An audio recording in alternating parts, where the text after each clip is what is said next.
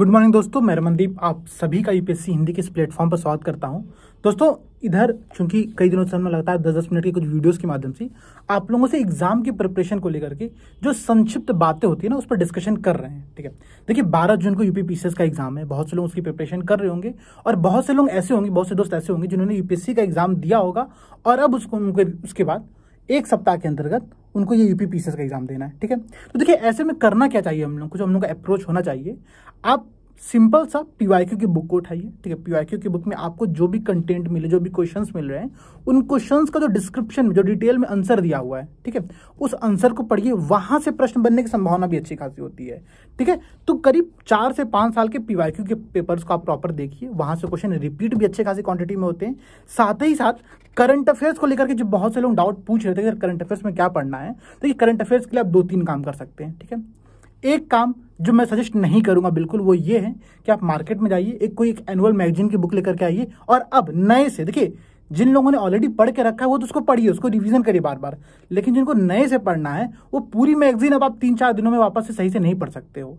इसके लिए आप क्या करो, आप पाँच सौ, छह सौ क्वेश्चन का कोई पी पीडीएफ उठा लो, जहाँ पर सिर्फ़ क्वेश्चन आंसर हो, ठीक है? उसको सॉल्व कर लो, या फिर सबसे अच्छा तरीका, उससे भी अच्छा तरीका क्या है, आप पीआईक्यू की बुक को उठाओ, ठीक है?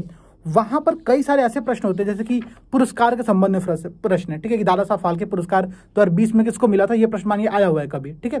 तो उसका वर्तमान संस्करण में आंसर क्या होगा, वो आप खुद से वहाँ पर सोच करके गूगल सर्च करके लिख लो, ताकि वो चीज़ आपको याद हो जाए, ठीक है? कि दो हज़ार बाईस में किसको मिला है मिस वर्ल्ड दो हज़ार बाईस में किसको मिला, दो में किसको मिला, ये सारी डिटेल देख लो। कौन सा सम्मेलन कहाँ पर हुआ है? बिम्स्टिंग का पांचवा सम्मेलन में रिसेंट में आयोजित किया गया कोलंबो में हुआ, वो कहाँ पर हुआ, उसके बारे आप लोग देख लो, ठीक है? जी ट्वेंटी का सम्मेलन कहाँ पर हुआ? भारत कब उसका आयोजन करने वाला है? भारत का जो U N F triple C का जो कॉप ट्वेंटी का जो लक्ष्य है, वो लक्ष्य क्या है? पंचामृत वाले लक्ष्य। तो ये जो कुछ करंट अफेयर्स के टॉपिक है ना, जिनको आपने यूपीएससी के ऑलरेडी प्रिपेयर किया होगा, उनके आधार पर ही आप इस तैयारी को आगे बढ़ाओ, ठीक है? पीवाईक्यू के पैटर्न को फॉलो करो। सबसे बहुत इंपॉर्टेंट बात है पीवाईक्यू पैटर्न को फॉलो करो। और दूसरी बात और ध्यान समझनी है, देखिए पेपर डेढ़ सौ क्वेश्चन का होगा, ठीक है? हम लोगों ने, जो भी आपने अभी तक टारगेट अपना अभी तक सेलेक्ट किया होगा कि आपको डेढ़ सौ में से कितने क्वेश्चन अटेम्प्ट करने हैं, उतना टारगेट अटेम्प्ट करना प्रश्न पत्र में, ठीक है?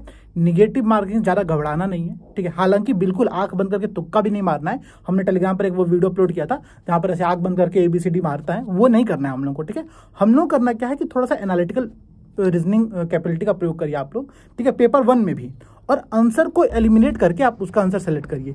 अगर इस अप्रोच को फॉलो करते हैं तो आप डेढ़ सौ क्वेश्चन में से अच्छे खासे क्वांटिटी में क्वेश्चन जो भी आपने टारगेट तय किया होगा, आपने अगर 120 का टारगेट तय किया क्वेश्चन अटेम्प्ट करने का तो उतना अटेम्प्ट करिए। 130 का तय किया तो 130 अटेम्प्ट करिए। 150 का किया तो 150 करिए, ठीक है? लेकिन जिस भी टारगेट को अभी तक आपने टारगेट बना के अपना रखा हुआ था, उतने क्वेश्चन अटेम्प्ट करिए। नेगेटिव मार्किंग से घबराइए मत। एलिमिनेशन मेथड का प्रयोग करिए। और अगर आपने यूपीएससी जो प्रिपरेशन की है क्वेश्चन उन्हीं करंट अफेयर्स बेस्ड होंगे, उन्हीं टॉपिक से बेस्ड होंगे। बस थोड़ा सा अप्रोच अलग हो सकता है। हो सकता है यहाँ पर सिंगल लाइनर प्रश्न ज़्यादा आ जाए। हो सके फैक्चुअल इन्फॉर्मेशन यहाँ पर ज़्यादा पूछ दे। यूपीएससी क्या पूछते गुच्छी के बारे में प्रश्न था। जिन लोगों ने पढ़ा भी होगा उसके बारे में गुच्छी के बारे में, वो दो इक्कीस में जीआई टैग मिला था उनको कश्मीर में, ठीक है? उसमें एक दो ऑप्शन तो आप एलिमिनेट कर भी सकते हो। जो तीसरा वहाँ पे ऑप्शन दिया हुआ था, वो आप एलिमिनेट भी नहीं कर सकते हो। क्या सोच के आप एलिमिनेट करोगे? हो सकता है कि वहाँ व्यापारिक खेती होती भी हो हो सकता है न भी होती हो। तो ये सब चीज़ें यूपी में नहीं होती। यूपी पीसेस में आपको थोड़ा सा फैक्चुअल इन्फॉर्मेशन पर ज़्यादा फोकस करना है। और आपने मेहनत की है। सबसे बड़ी बात जो आप लोग को ध्यान में रखनी है, आपने पिछले एक साल मेहनत की है। उस मेहनत का ये परिणाम आने का समय है, ठीक है? एग्ज़ाम से बिल्कुल मत घबराइए। सेंटर आपका कहाँ पर है, उसका आप लोग लोकेशन चेक कर लीजिए एक बार, ठीक है? सेंटर जाने के लिए आप लोगों को क्या व्यवस्था करनी है? घर से कितने बजे निकलना पड़ेगा? इन सब चीज़ों को प्रॉपर मेंटेन कर लीजिए। अब समय कम बचा है हम लोग के पास तो इन सब चीज़ों को एक बार देख लीजिए। क्वेश्चन पेपर को कैसे आप लोग अटेम्प्ट करना है, अप्रोच क्या होनी दो घंटा बैठने का आदत डाल लीजिए, ठीक है?